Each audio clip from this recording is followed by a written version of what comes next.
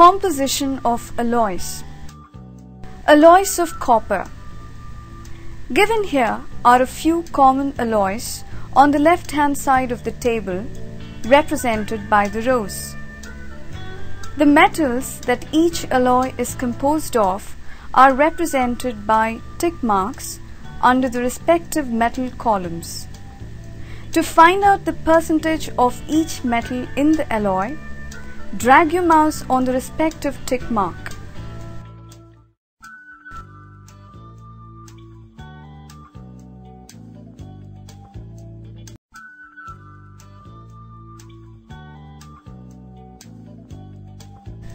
Alloys of aluminium. The alloys of aluminium are duralumin and magnalium.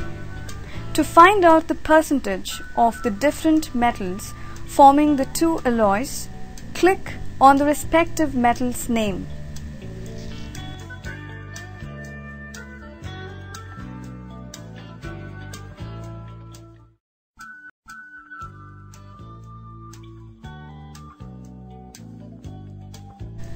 Alloys of lead. The alloys of lead are the type metal and solder. To find out the percentage of the metals composing the alloys, click on the respective metal name.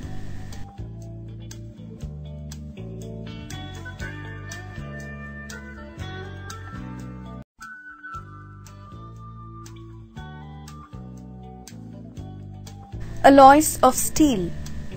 The rows represent the three alloys of steel. The columns represent the metals that the alloys are composed of. The metals forming each alloy are represented by tick marks under the respective metal columns. To find the percentage of the metals, click on the tick marks under the metal columns.